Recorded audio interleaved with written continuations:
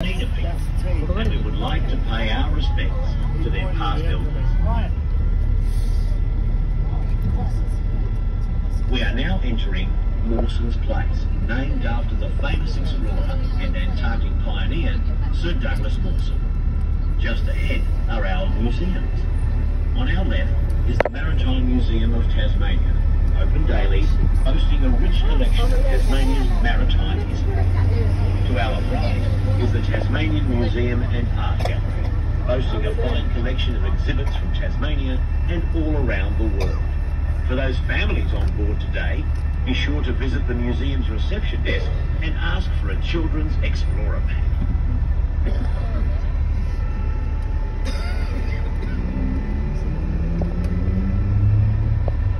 This is our street. Where are you?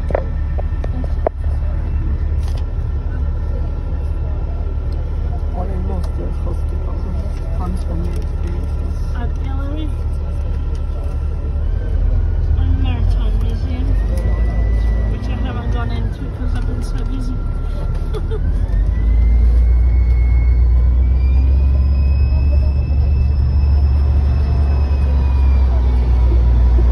Very short hospital.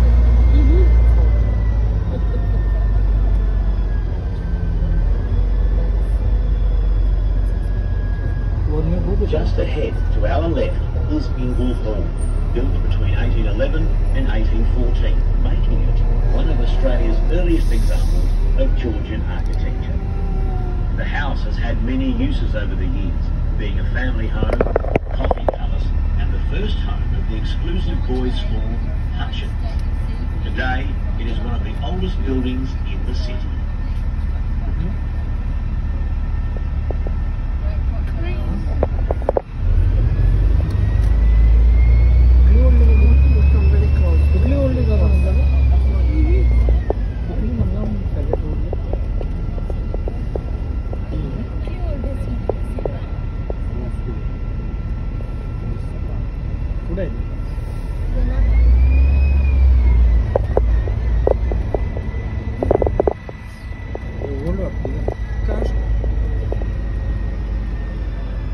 That's our hotel vibe.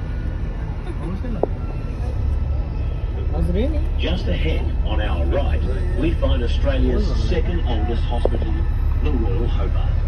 It was originally called the Colonial Hospital and was established here in 1820. Today, the Royal Hobart is also a teaching hospital for the University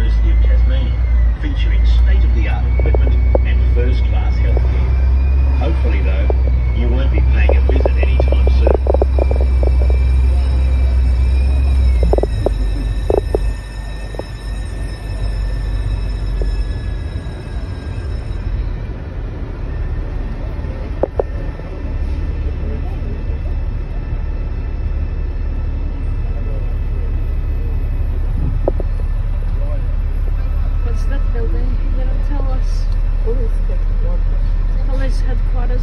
Police headquarters are over there. And that is Out of the hospital. part of the hospital.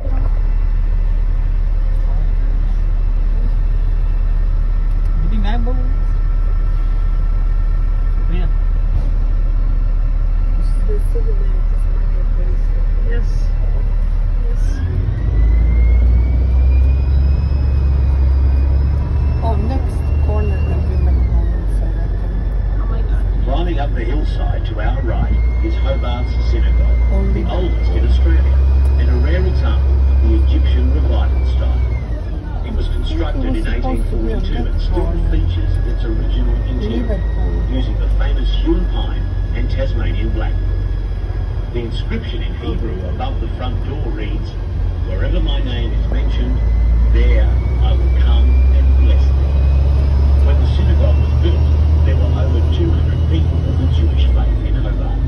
But over the years, the numbers have dwindled, and regular services are no longer held here. Fingers.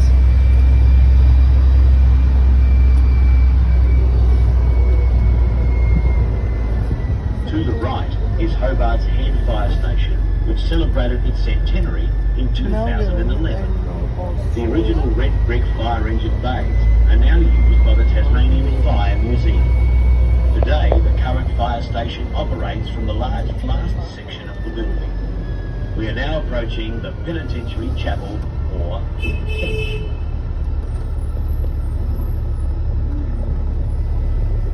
vê into view on our right is the Penitentiary Chapel, or Tench, one of Australia's most significant convict precincts, dating back to 1831.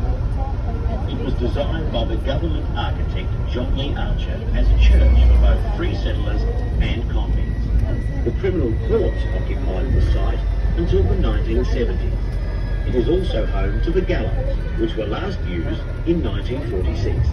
From the 1830s